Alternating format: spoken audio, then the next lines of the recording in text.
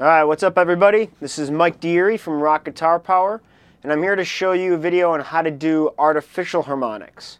We also call them pinch harmonics. So these are a little bit different from natural harmonics. Um, when you do natural harmonics, you simply put your finger on top of either the 12th, 7th, or 5th fret to get uh, a harmonic happening. Okay? But the problem with natural harmonics is that they could only be done on those three strings. Pinch harmonics or artificial harmonics can be done anywhere. The technique's a little bit tricky, but uh, hopefully this video will give you some ideas on how to make it easier. Now, the first two things that we want to try and have in place to make this as simple as possible are number one, um, a guitar with humbucker pickups. They're a little bit more active and they're hotter and they pick up more tone. So if you have a, hum, uh, a guitar with humbuckers in it, it'll help out a lot. The other thing you want is a lot of distortion. Heavy distortion also helps pick up these artificial harmonics better. So to get them sounding better and make it easier to do, make sure you crank your distortion or gain. Okay? Now, let's talk about the technique and what's actually happening. We're going to call these, we call them pinch harmonics because we're actually pinching the string a certain way in our right hand. A lot of this, well, most of this technique has to do with our right hand and how we go about picking the string. So the first thing we want to do when we have our pick is that we don't want to show a lot of surface area. So if I hold the pick like this, I don't want to have a lot of surface area shown here. So I want to make sure that when I hold the pick, I hold it very close to the end where not much of the pick is actually showing. Okay? Now the other thing that I want to do is turn my thumb a little bit sideways like this. Okay? This is because when I hit the string, I want a combination of the pick to hit and the skin from my thumb at the same time. Okay? So let's start out by trying this out on the G string. Now before we use our left hand to fret an actual note, what we're going to do is just find out where we can get a harmonic up high on the string.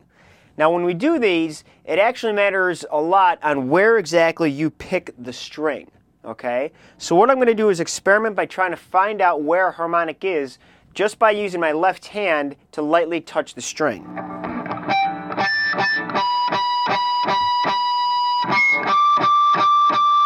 Okay, so you can see that I found two in different spots. Here's one,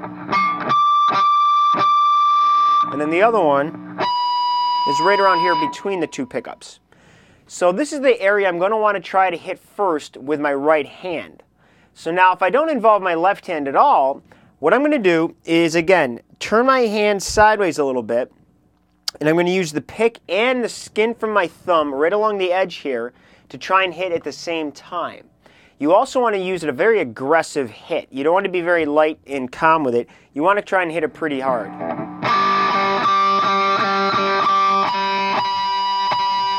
Okay, so you can see if I do one there, I can get it to ring out with just my right hand. A little bit harder to do higher, but I can still manage. So now let's go ahead and fret the 7th fret on the G string. Okay, now we're going to just try to hit this note normal first. Okay, so we get our standard note out and that sounds fine. Now for the artificial harmonic, I'm going to again use this technique where I don't show much surface area. I'm going to turn my, um, my pick sideways a little bit so that my skin and my pick hit the string at the same time. Now I want to experiment with going up and down the string to find the sweet spot to get it to ring out. Okay, there's one. And again, I can get a different, a few different tones out of it, but I want to find one that really holds well. So if I take my right hand off, I could still get the note ringing out. Okay? All right, there's another one in the D string. All right, they sound good with a little bit of vibrato too. The big thing is to be patient and experiment a lot with where you're picking the note and be aggressive. And it's a lot of combination of being patient and just trying to find the right way to hold the pick. Um, they can be done anywhere. They're easier to do actually on the wound strings. Once you get to um, the B or E string, they tend to get a little bit harder to do, but you could still get them. And they're fun up there because you can really get a good screamy note when you get them. Um, for example, right there.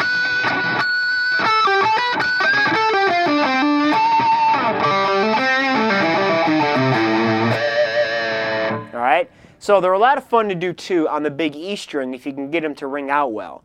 Zakk Wylde's a very um, he uses this technique a lot, so you could hear it in a lot of his records and songs that he does with uh, Black Label Society or Ozzy.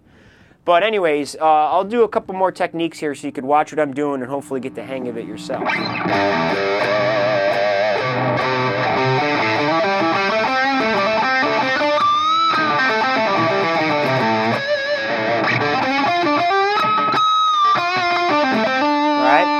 You got it really good when you could hit the note and have it just ring out by itself.